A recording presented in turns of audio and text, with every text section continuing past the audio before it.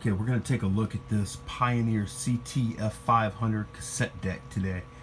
Uh, going to run it through its paces. We're going to record to it and then play back from it. Going to record from this iPad. Going to play back to these Bose speakers here that have RCA inputs. And uh, also, let's take a look at the physical condition. It's in really nice shape. It's a nice unit. Uh, the, the lights work on the little meters here. That works fine. Uh, let me hit some lights here so we can look a little better at it. Uh, physical condition is really good. Really good. No issues. Uh, no issues to talk about at all, really. So, really clean unit. And what I have here, plug this in better.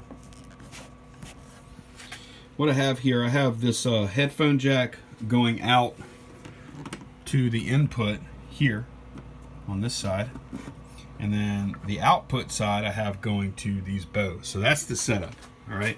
And I've got just a regular uh, Sony HF90 cassette tape. It's not like high bias or anything like that. I'm gonna include a few tapes with this listing. Sorry, excuse the noise. all right, so uh, let me go ahead and hit play on the iPad. That music will be playing and then we should hear it here whenever I hit record on the deck.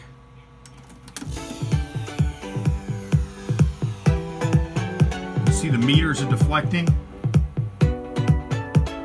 Tape spinning.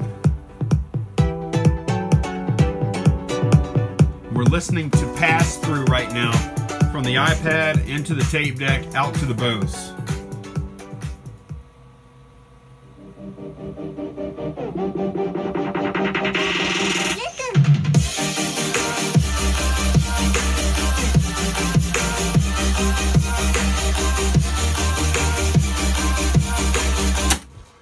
Okay, now I'm gonna gonna kill the iPad and pull that plug out. We're going to rewind our tape.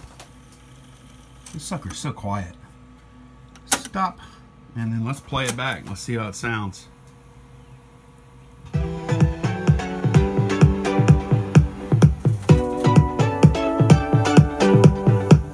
Sounds good.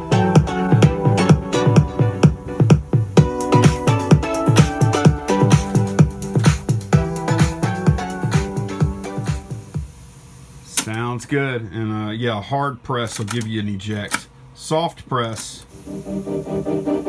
like that, would stop it. And uh, yeah, there's nothing else really to say because I've tested uh, recording and playback. Everything's in good physical condition.